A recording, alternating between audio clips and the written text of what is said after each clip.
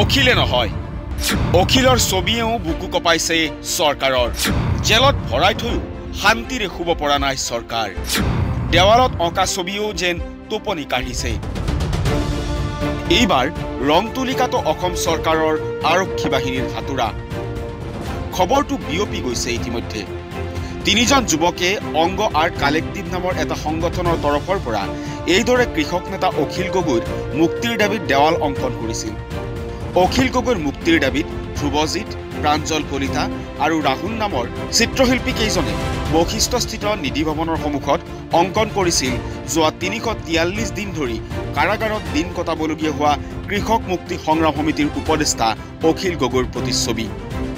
ছবিখন আঁকি থকা সময়ত তেওঁলোকে এইদৰে কৈছিল আমাৰ এটা কালেক্টিভ আছে অংগ আৰ্ট কালেক্টিভ আছে তাৰ পৰা কৰি আছোঁ। মুখ্যতঃ অখিল গগৈক ইমান আজি এবছৰ হ'বলৈ হ'ল জেলত কৰি থৈ দিছে। চ' তাৰ আমি প্ৰতিবাদত এই কামটো কৰি আছোঁ। লগতে যিটো অখিল গগৈ আৰু কৃষক শক্তিৰ যিটো মানে ৰেজিষ্টেঞ্চ সেইটোত আমি লগত আছোঁ। সেইটোক ছাপৰ্ট কৰাৰ কাৰণে আমাৰ কালেক্টিভৰ পৰা এই গোটেই ৱাল পেইণ্টিংহে কৰা হৈ আছে। চ' আমাৰ এই এনেকুৱা ধৰণৰ ৱাল পেইণ্টিঙৰ গোটেই অসম জুৰি কৰা এটা পৰিকল্পনা আছে।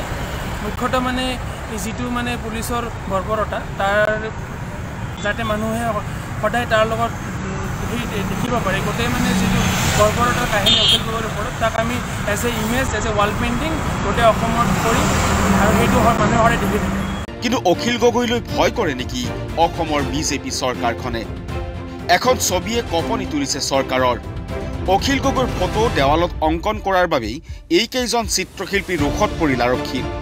ছবিখনৰ কাম সম্পূৰ্ণ কৰিবলৈ নৌপাওঁতেই চিত্ৰ অংকন কৰি থকা অৱস্থাতে বশিষ্ঠ আৰক্ষী ছবি অংকন কৰি থকা স্থলীত উপস্থিত হৈ ছবিখন মচি পেলাবলৈও নিৰ্দেশ দিয়ে আৰু যুৱক কেইগৰাকীক লগতে অংগ আৰ্ট কালেক্টিভৰ সদস্য কেইজনক টনা আজোৰা কৰি থানালৈ বলপূৰ্বকভাৱে লৈ যায়।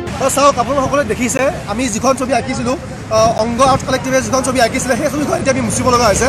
কাৰণ প্ৰশাসনে এতিয়া আমাক নিৰ্দেশ দিছে যে ছবিখন আমি মুচি দিব লাগিব নহ'লে হয়তো আমাক এৰেষ্ট কৰিব।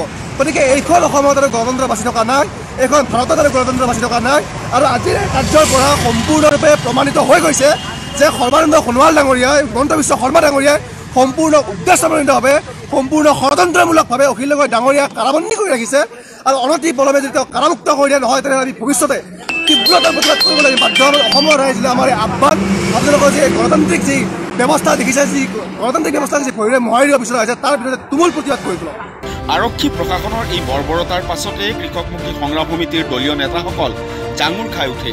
সমানে সামাজিক মাধ্যমতো দেখা গৈছে সৰব চৰ্চা। ন্যায়ালয়ত তাৰিখৰ পিছত তাৰিখ পিছুৱাই যোৱা বিছ অক্টোবৰৰ পিছত চূড়ান্ত শুনানিৰ বাবে ছয় নৱেম্বৰ তাৰিখ ধাৰ্য কৰিছিল যদিও পৰৱৰ্তী শুনানিৰ দিন ঊনৈছ নৱেম্বৰ অৰ্থাৎ আজিৰ দিন ধাৰ্য কৰা হৈছিল। কিন্তু আজি পুনৰ ঊনৈছ নৱেম্বৰৰ পৰা আঠ ডিচেম্বৰলৈ পিছুওৱা হ'ল অখিল গগৈৰ শুনানি। এইদৰেই কাৰাগাৰত দিন কটাইছে অখিল গগৈয়ে। আৰু বাহিৰত অখিল গগৈৰ ছবি এখনৰ প্ৰতিও ভয় খাইছে চৰকাৰে। City bureau D B news.